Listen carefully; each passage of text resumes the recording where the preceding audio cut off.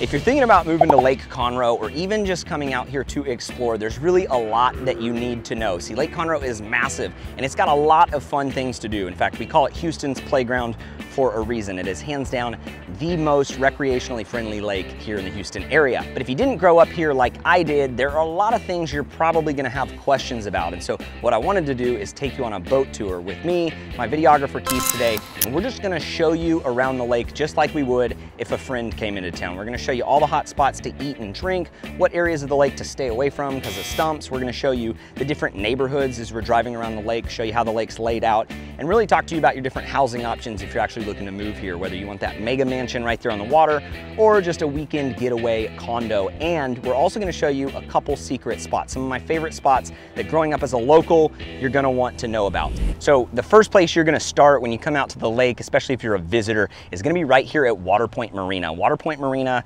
is probably gonna be the most robust set of bars, restaurants, office space, and everything in between right here on Lake Conroe. It's definitely gonna be the hub. And so it's located right along Highway 105, which is the main road connecting Conroe to Montgomery.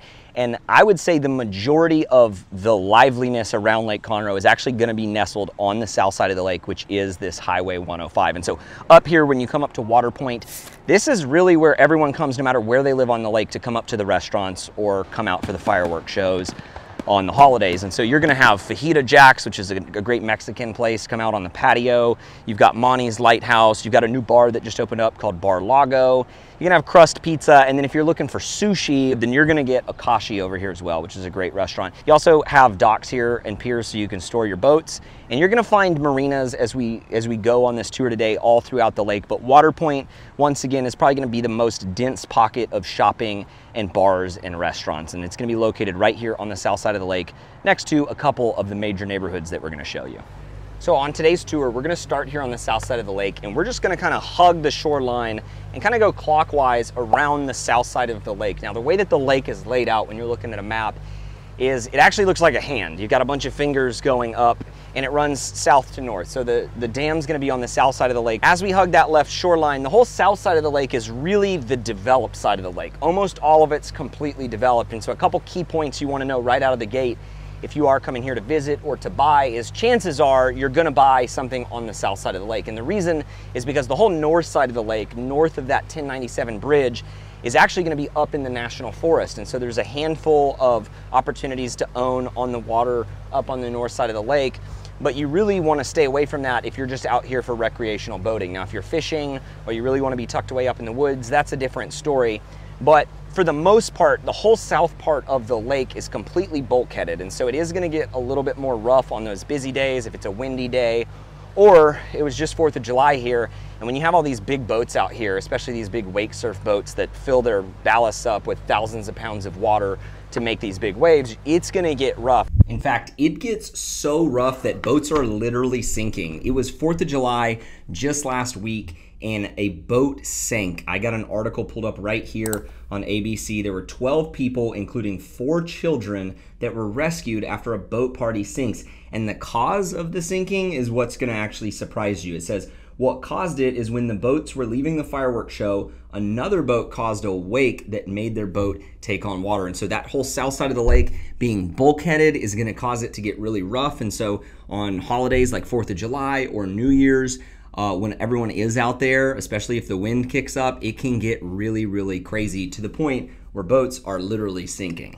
And so that's something you need to know here on the south side of the lake. You don't want to be out here in a small boat. And so you're going to see a lot of big wakeboarding boats, pontoon boats, and fishing boats for the most part. As you go up on the north side of the lake, you got to be careful. And we'll get into that as we're kind of up on that side here in a little bit, showing you that secret spot. But uh, there are stumps in Lake Conroe. They're not gonna be, for the most part, located so much on the south side of the lake. So if you're cruising around the lake on the south side, you're gonna see everybody out here tubing, having a good time, water skiing, wakeboarding. But as soon as you go north of that 1097 bridge, you're really gonna wanna know where you're going. And there's a couple of ways to do that. Option one is go with a local. Option two is get some kind of navionics or maps for your boat. So I won't go too into the weeds in this video, but I do wanna give you a quick overview that that whole south side of the lake, that's really where most people are gonna be spending their time boating and having their fun.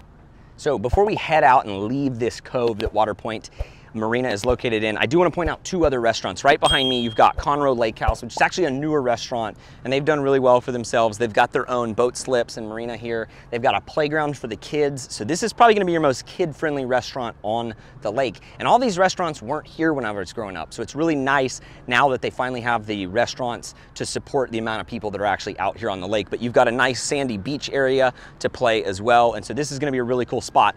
However, growing up here, the spot was right over here. It's this pink building, that's Papa's Ice House. They've got a pool out there, they've got sand volleyball courts, and uh, it isn't known for its amazing food, but it is known for being a really good place to have a really great time. So if you're out here looking to have a good time, that might just be kind of your late night spot. It's actually kind of like a biker bar as well. So you pull up there, you're gonna see a bunch of motorcycles out there as well. Um, so that's kind of all that's right here in this cove. Now we can head out onto the open body part of the lake.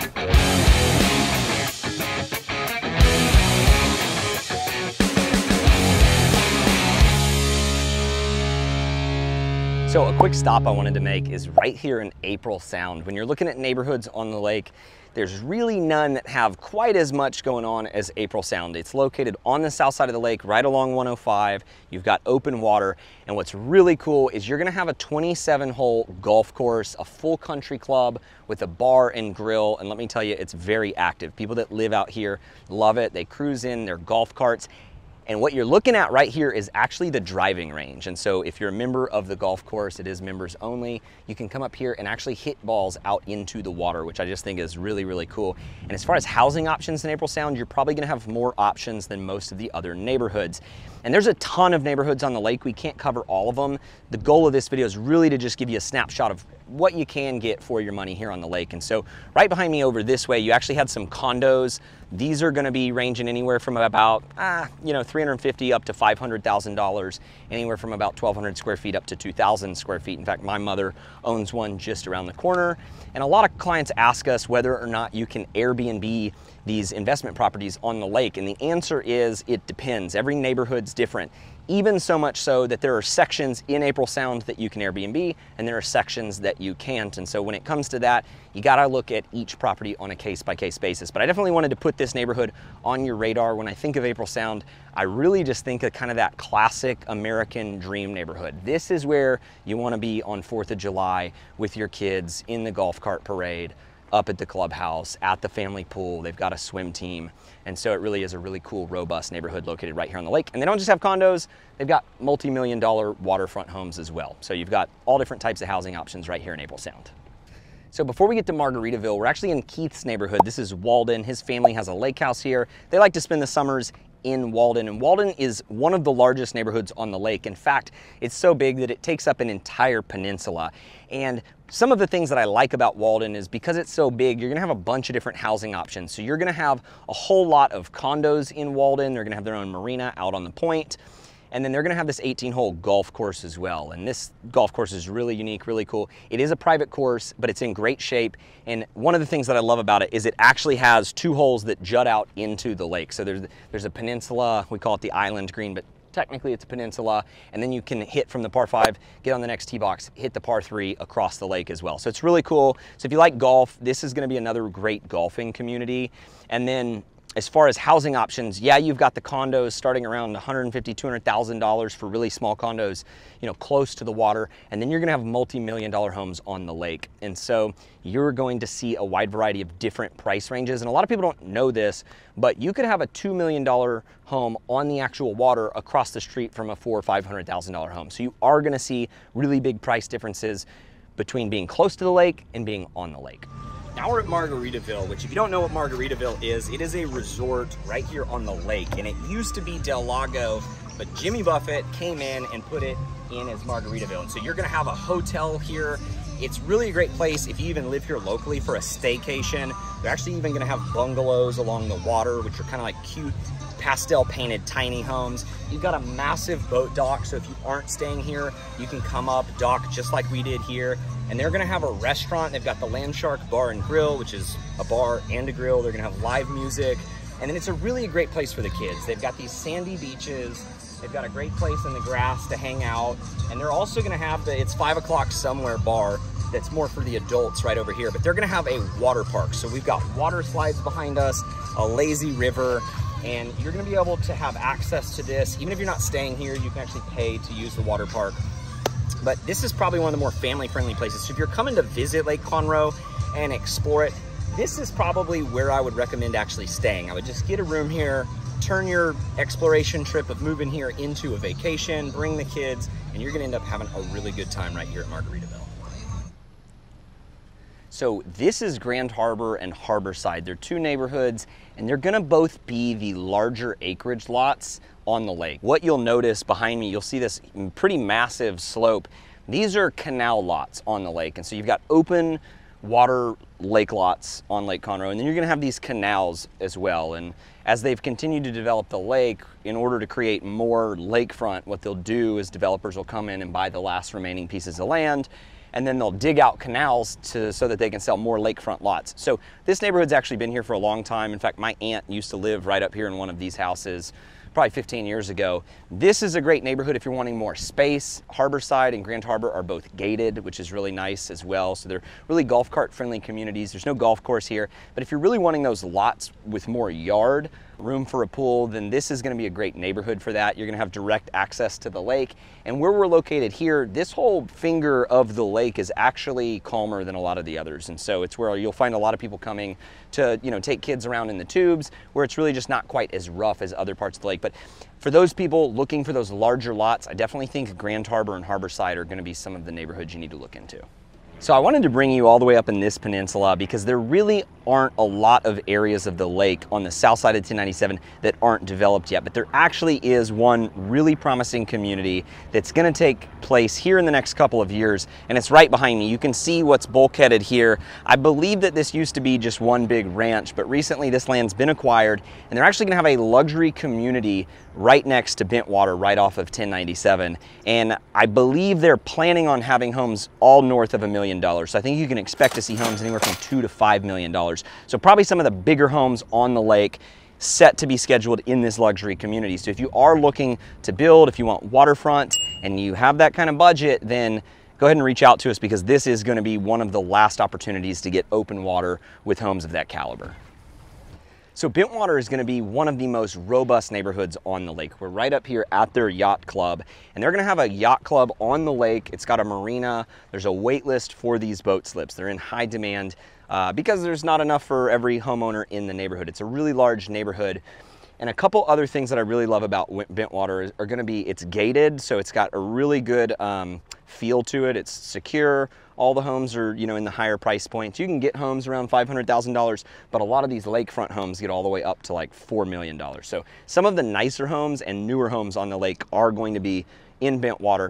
Bentwater also has three different 18 hole golf courses. So that's gonna be more golf courses and more holes to be played than any of the other courses around here. So that's a really nice perk. It's a golf cart friendly neighborhood. And then up at their clubhouse, they are gonna have a bar and a grill, and then they're also gonna have a spa, they've got a gym, and then they have a ton of tennis courts. So it really has pretty much every checkbox you can think of when you're looking for a neighborhood. Um, it does tend to attract um, some older clientele just because it's such a great place to retire, but it's not a retirement community. I think sometimes it gets a rap for that. It's a great community. You've got young families out here. It's big, it's got a little bit of everything, um, but it definitely is on my list if I retire of an area that I would want to be in. So anyways, this is Bentwater and it's located right on the west side of the lake on the 1097 bridge. And so this 1097 bridge over here is what bisects the lake. It, it separates the north side from the south side, and really what it does is it separates the developed side of the lake, which is this south side, from the north side. And the north side is, as I mentioned, really is the national forest. Um, there's not a lot to do up there other than hit stumps, but we are gonna take you to the Party Cove right now and show you exactly how to get there and where to hang out when you wanna have a good time.